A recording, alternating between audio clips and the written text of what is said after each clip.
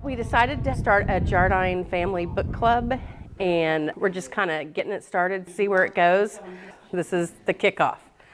We've never done anything like this before. We're just trying to get it started and see where it goes.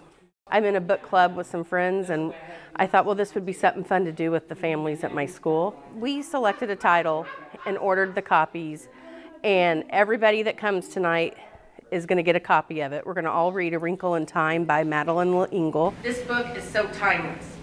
It, I reread it a couple weeks ago, and you wouldn't know it was 56 years old. It's still very relevant, and uh, I think you will all love it.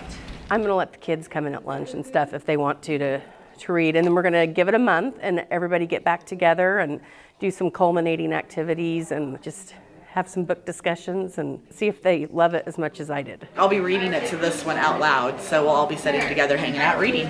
Wichita Public Library, Erin Howerton is going to talk about the new library and what they have for teenagers and families there. She's going to talk about the exciting new library downtown. We have down at the front, see where we border, on the border between the orange and the purple, those are computers that are going to be just for teen use, okay? We're going to have computers that have the kind of software on it that you need to do your schoolwork or to be creative or do whatever. Wichita State University's Gear Up program is involved with us. They're helping support us. They purchased the books and the snacks. That was wonderful support for us at Jardine, and so they're here with us and hoping to get some families reading together.